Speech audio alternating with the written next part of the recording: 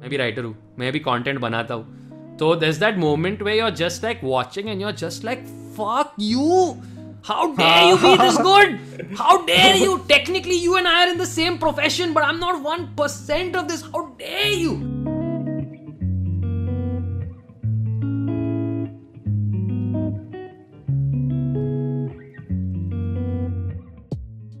movies and shows पे आते हैं and like, I'll start with the basic question again how what's your rishta with the movies movies and shows are like the great love affair of my life in the sense that um, I was very fortunate again that I had a lot of pop culture exposure very young. Um, and I was very lucky to be around people that were very excited by it. And the internet hit just as I was turning 15 or 16 years old.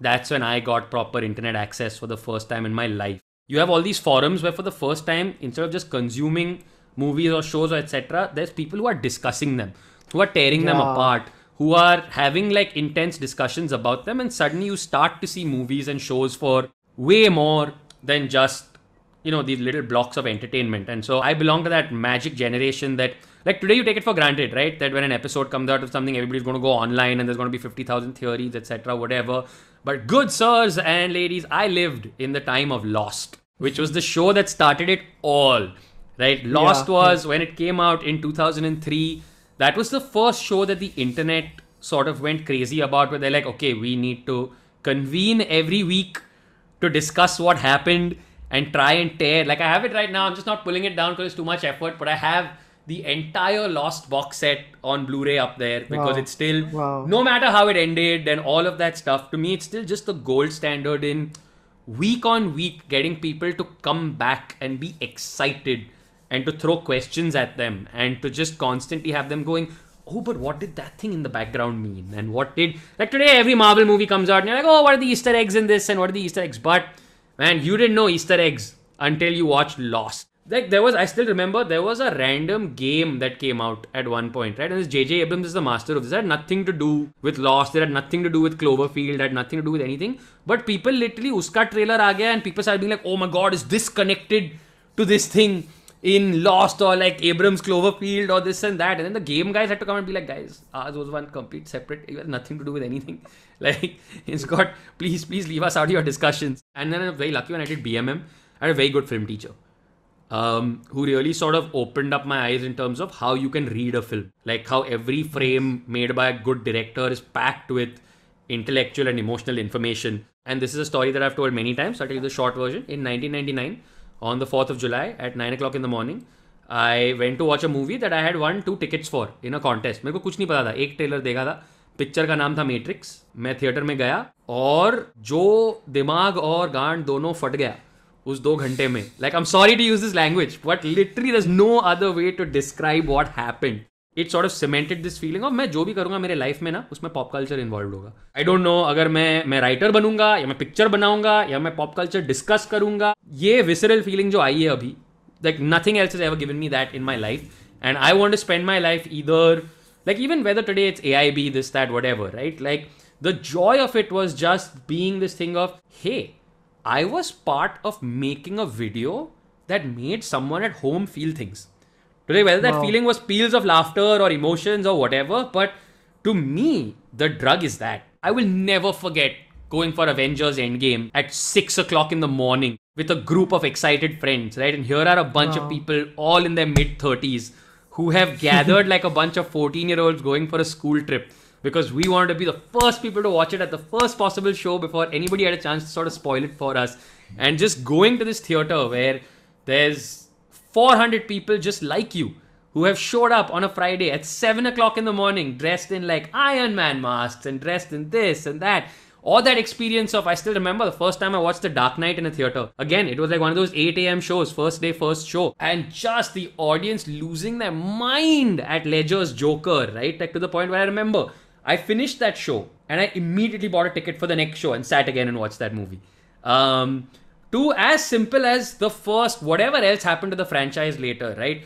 Nothing can convince me otherwise from the fact that Michael Bay's first Transformers movie is a work of art. Again, just watching it with that 7 a.m. audience that first time, and then again, it was one of those movies where I called a friend and I'm like, yo, you need to watch this movie. I'm at the theater. मैं evening show के भी tickets खरीद रहा हूँ. I'll see you at the theater. And a large part of my life has just been about chasing that experience or if i can at some point in my life give that experience to people where it's like if i can in my life one day make something and when i say make people feel thing it doesn't have to be a romance where it makes them feel sad or emotions or whatever if i can make somebody feel thrilled if i can make somebody feel excited if i can make somebody feel roused if i can make somebody feel like they're a 10 year old or an excited 11 year old again um, that'll be the day where i'm like हो गया मेरा काम अर्थ पे I am retired now I can die in peace so my relationship with movies is always been a deeply emotional one. Right now, there's the poster behind me here is a Back to the Future poster because again, I remember how watching those movies made me feel.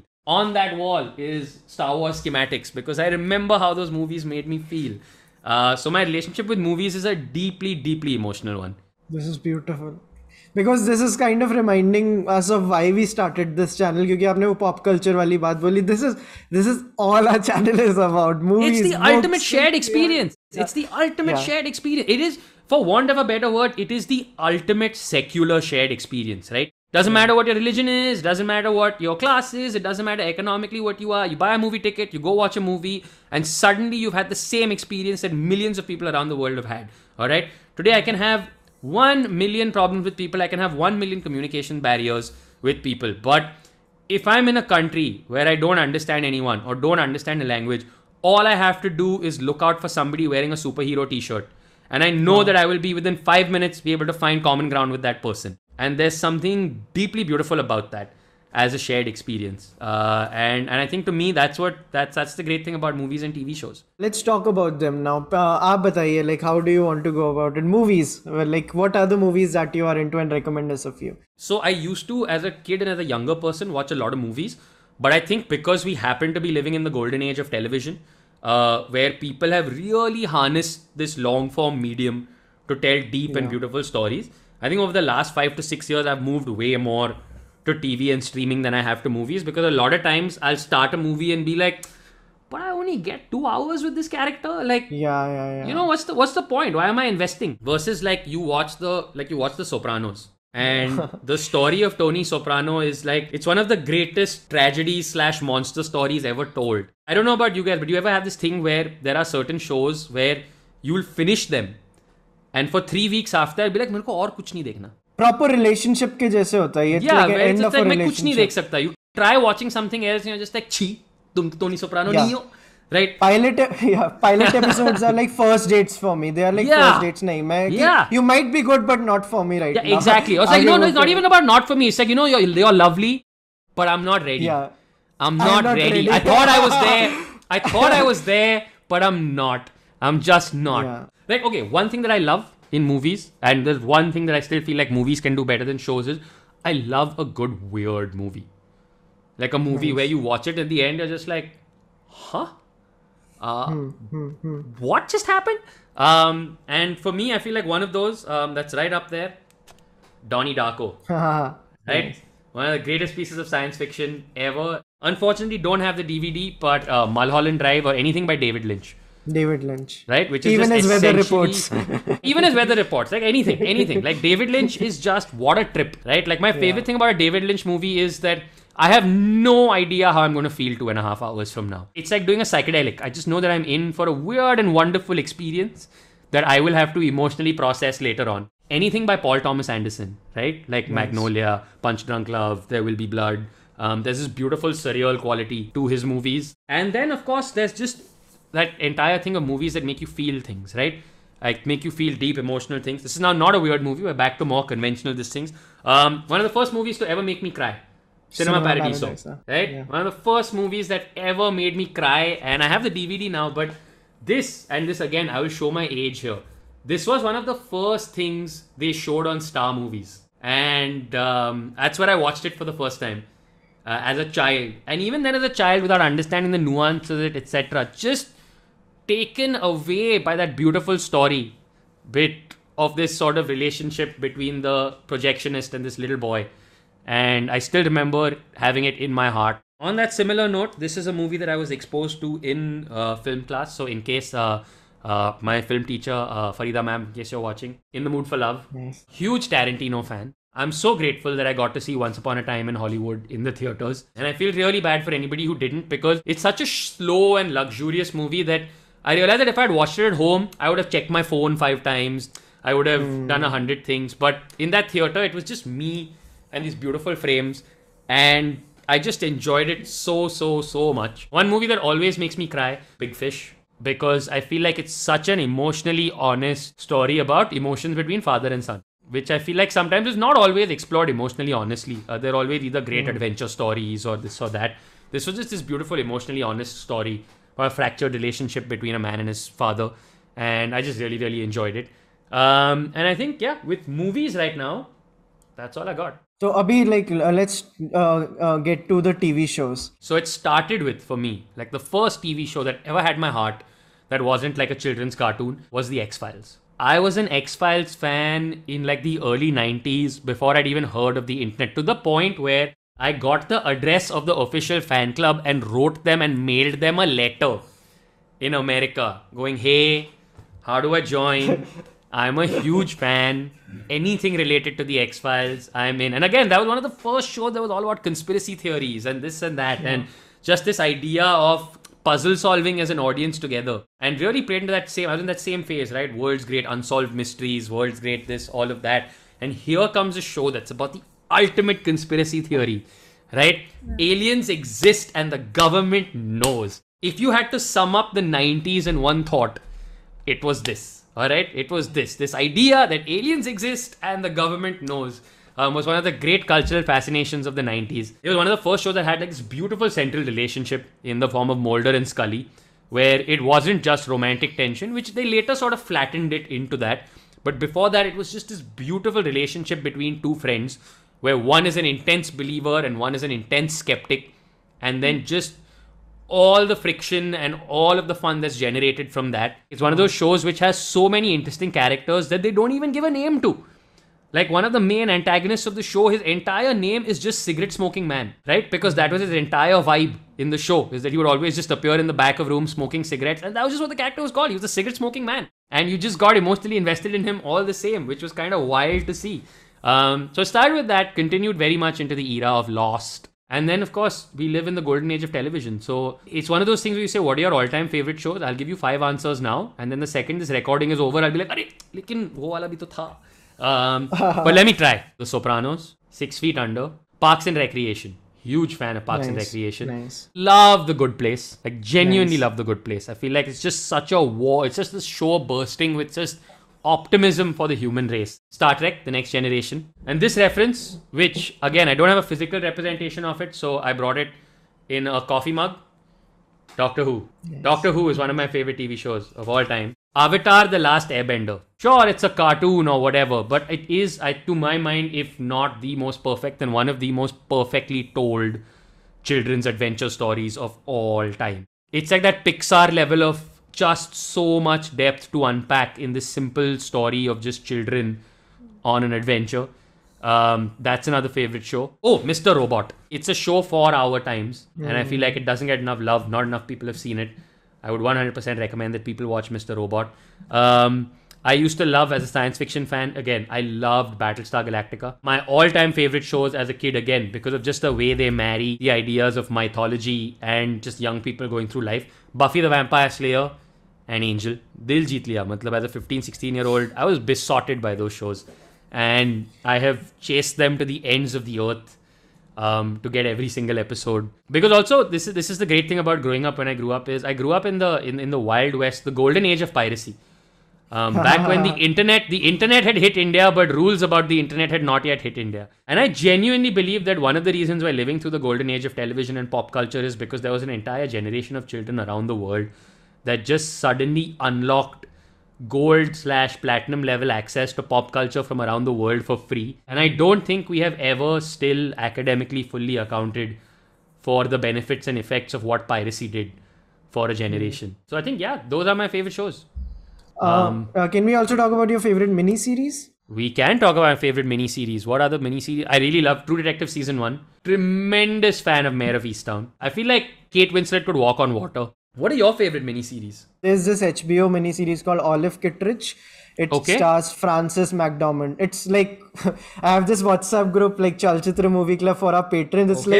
like if you want to be in this group, first go and watch Olive Kitteridge. Olive and it's also, by the way, on the based. Uh, it's based on a book. Then there is Chernobyl, which I really like. Chernobyl was great. See, this is what I mean, Yeah. right?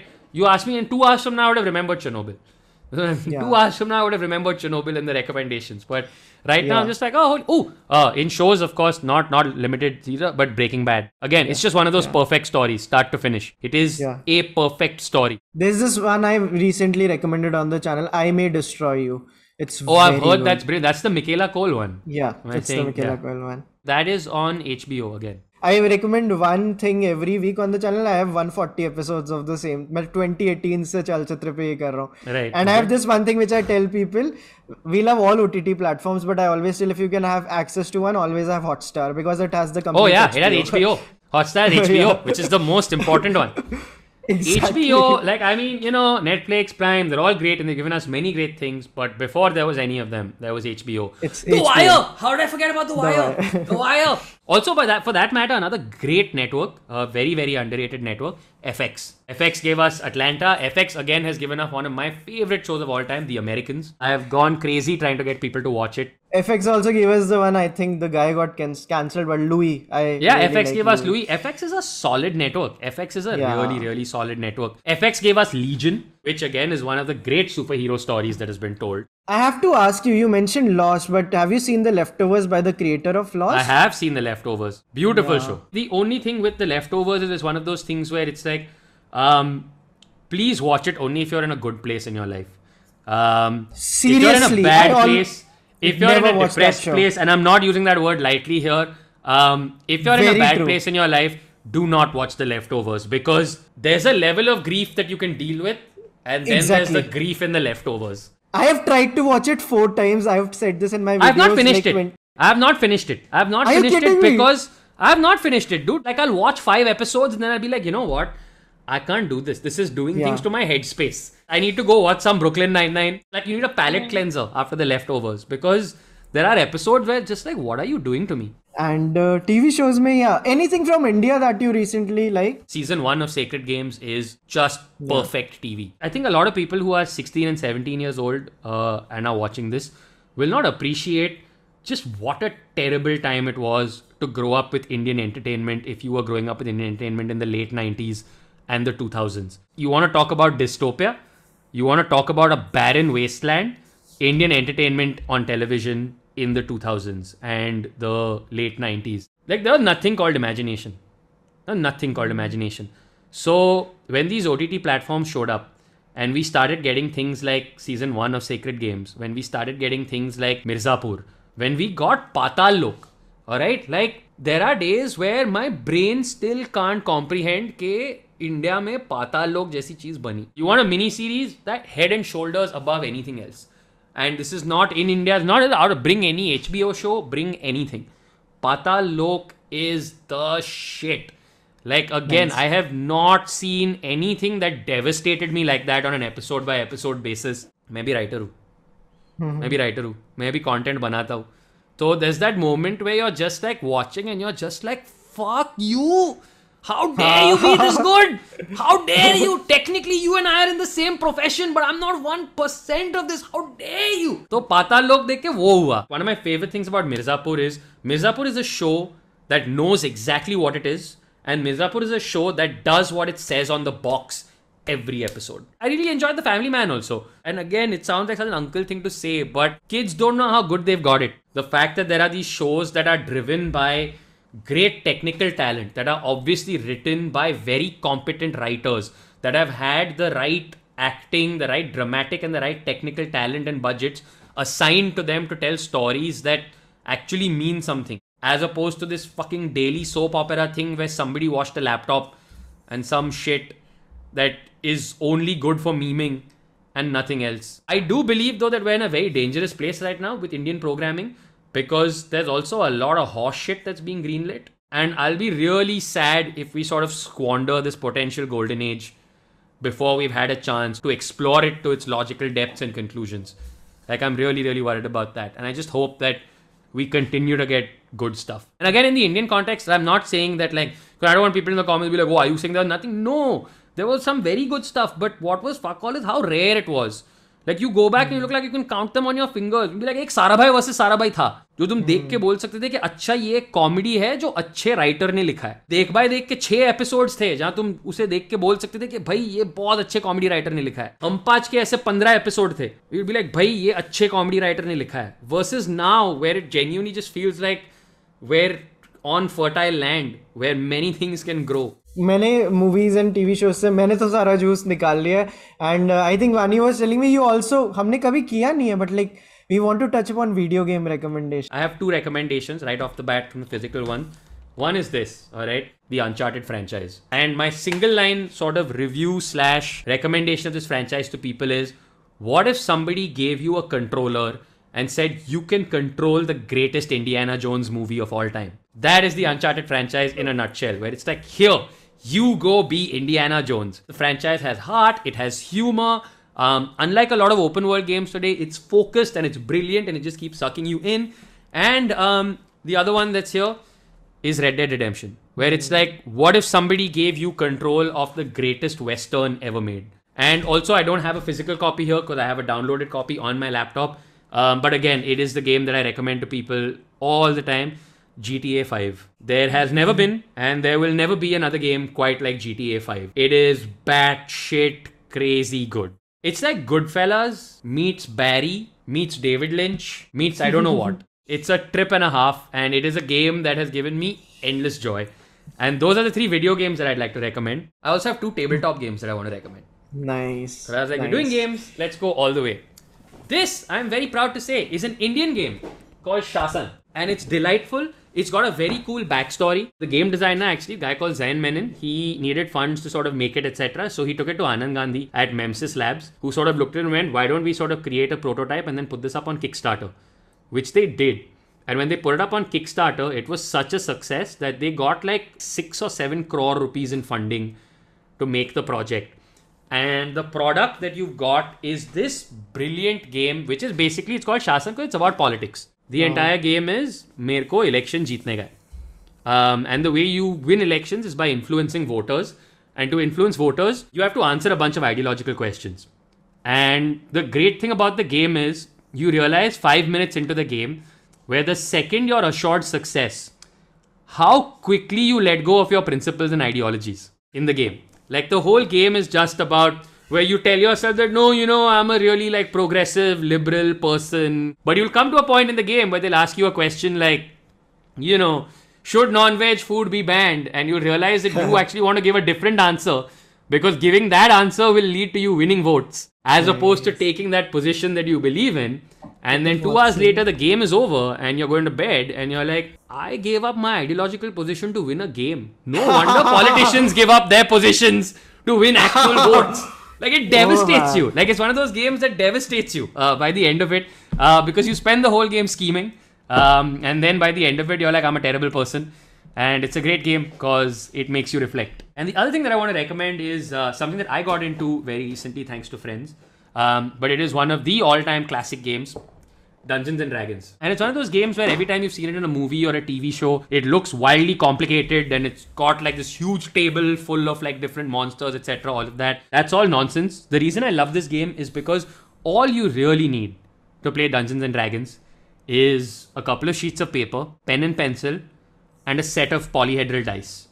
If you have those three things, and if you have four or five willing and enthusiastic participants who are willing to use their imagination, there is nothing like this game. It is the ultimate open world game where all you have to do is act, and your actions will have consequences, and those consequences are dictated by the dice roll. And when I say you can act, I mean you can literally do anything. Like I was playing Dungeons and Dragons with some friends where we had a simple mission where we were supposed to go into a mine, negotiate with some people, rescue people, and come back.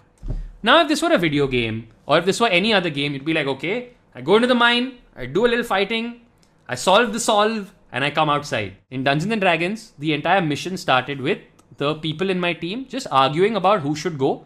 One of them had a little pet who was not behaving properly. So the other person killed his pet, which then resulted in a one hour fight at the entrance of the mine between just the people in my party fighting each other before going in there because you are like, bloody, how dare you kill my pet? Now I kill you. And I was in no mood to stop them because it was super entertaining. Wow. For three hours, they were squabbling over the petty, and these are grown ass men, all right? And they were squabbling over the pettiest shit, and it was a ton of fun to watch. And the actual work of the mission never got done. And still, we hold it as one of our most productive sessions yet. There has never been a game that operates as purely and spectacularly in the imagination as Dungeons and Dragons. Nice. And if you're willing to follow the slight learning curve, it is an infinitely rewarding game. With that, I think I am all out of recommendations, guys. we are still left with music. We are still left with music. Oh, holy shit. Yes, we are still left with music. what kind of music are you into? I listen to anything. I listen to literally anything, and my daily playlist will include everything from pop to power punk to hip hop to Jurassic Park theme, uh, depending on what I'm doing. So I listen Are to you an. Apple Music person or a Spotify person? I am a Spotify person. Hmm. I am a Spotify. Per- are you an Apple Music person? No, no, no, no. Vani is. Vani is. You an Apple Music? It's just with with the. I love Apple. I'm an iPhone user. I'm fully hooked into their system. All of that. But what a nonsense interface Apple Music has. Like, it's like who designed this? Vani has a video coming in why she uses Apple Music over do. Spotify. Tell us. I like Apple Music for a very selfish reason. I love the bios that they give for every album and artist. And I think they're really nice. Please don't judge me.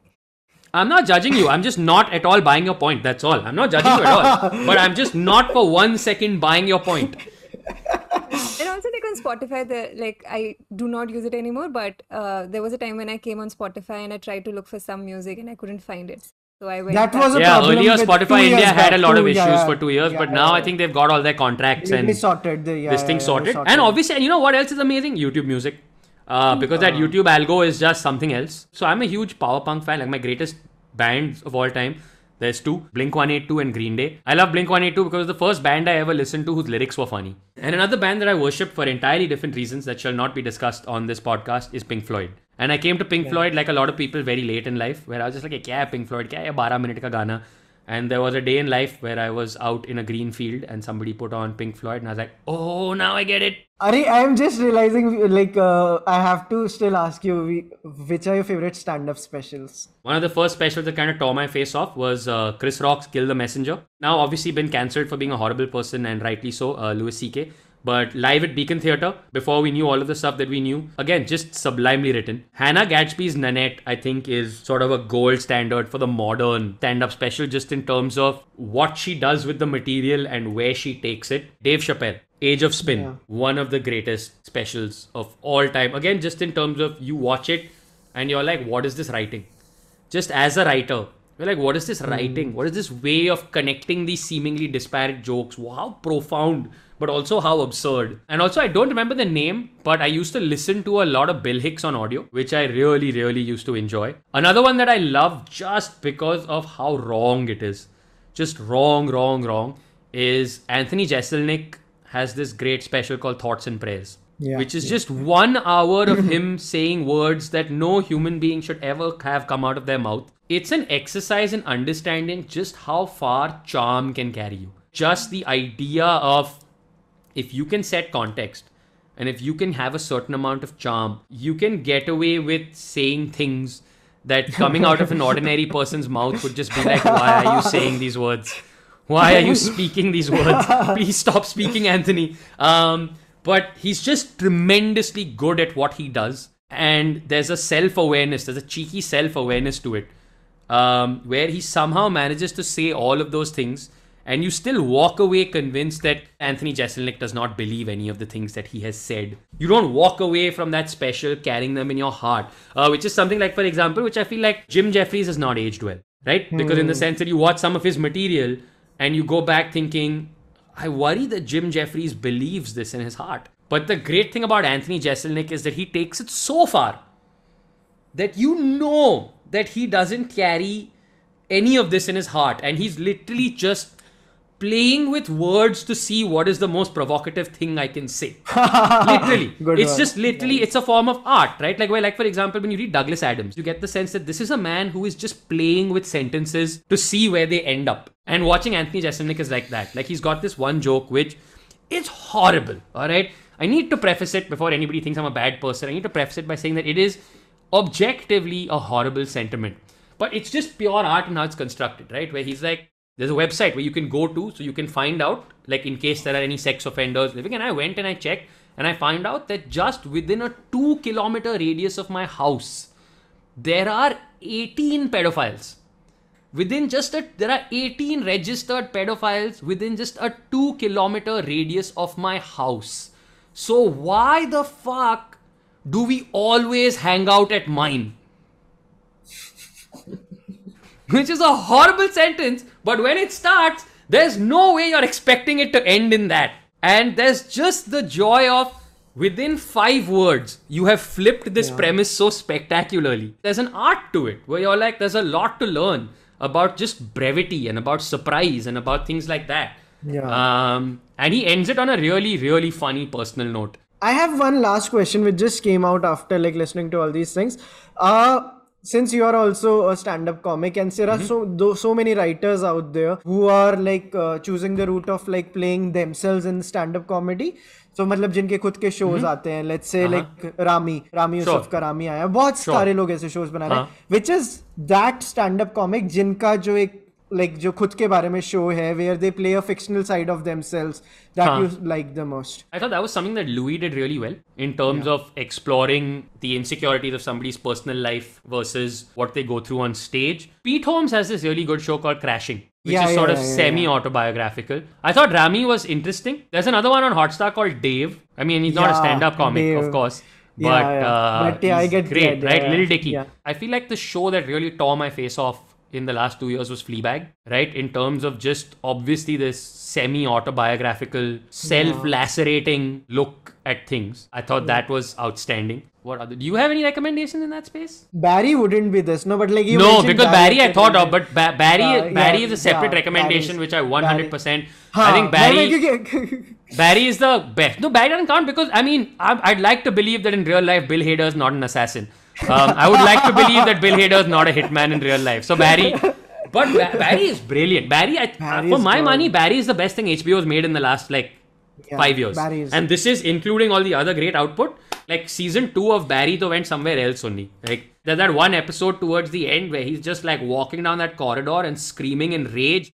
I think काफ़ी काफ़ी तगड़ा episode था ये Rohan thank you so much for doing this with us I hope we can call you again on Chalchitra because there are any time I pull I'll yeah. pull out another 185 books and DVDs and like eat up two and a half hours of your time for no reason, happily. I have a uh, music recommendation for you if you like uh, songs that are very funny. It's Flight mm-hmm. of the Conchords. Come on, come on, come on. I am a Conchords OG. I am a Conchords. OG. Watched all seasons of the show. Listened to all of their music. I got a joke between my girlfriend and I. Sometimes I'll just look at her and be like, "It's business. It's business time," and we'll both have a great laugh about it. Uh, huge, huge Conchords fan. To anybody who's watching, please subscribe because you've got here a YouTube resources hosted by two lovely people who recommend pop culture. I know for a fact that there's people in this comment section who spend at least 25 minutes of their day randomly scrolling Netflix or Amazon without actually zeroing in on something to watch. Um, guys, come on like here here it is this is this is the resource that the internet demanded and you've got a bunch of different diverse people as well right who come on and recommend stuff Yeah, so yeah. i mean it stands to reason that on this channel there is something for everybody so please subscribe. Thank you so much, Rohan. And like before I go, I also want to add कि I had been wanting to get you on the channel for last one and a half years and हम via via try करते रहते थे कि यार I'm because sorry we it knew didn't कि- happen earlier. I'm really sorry it didn't happen earlier. I, I I would have I would have loved to do this before, and I would love to do it again. Um, Yeah. Because you know this Huh, is at but the like- intersection of two of my favorite things: loving the sound of my own voice and loving pop culture. uh, so Yeah, and like it was one of those episodes for us where like I felt ki this is the reason why we started off with this channel. It just like reminded us of that reason. ki these are the ye- conversations I live for. These are the conversations. Yeah. Ninety percent of the parties I go to, um, this is me, where I will find two people who are exactly like you, and it will just be us for two hours going, लेकिन ये देखा है क्या Uh, वहाँ बाकी बाकी लोगों का ड्रामा चल रहा है पॉलिटिक्स चल रहा है ये चल रहा है नाम लाइक अरे वो सब छोड़ क्लोन वॉर्स देखा कि नहीं this is amazing. And thank you so much for doing it. And uh, hope to see you soon. yeah I- absolutely the and- pleasure was all mine this was a ton of fun thank you what a fun way to spend an afternoon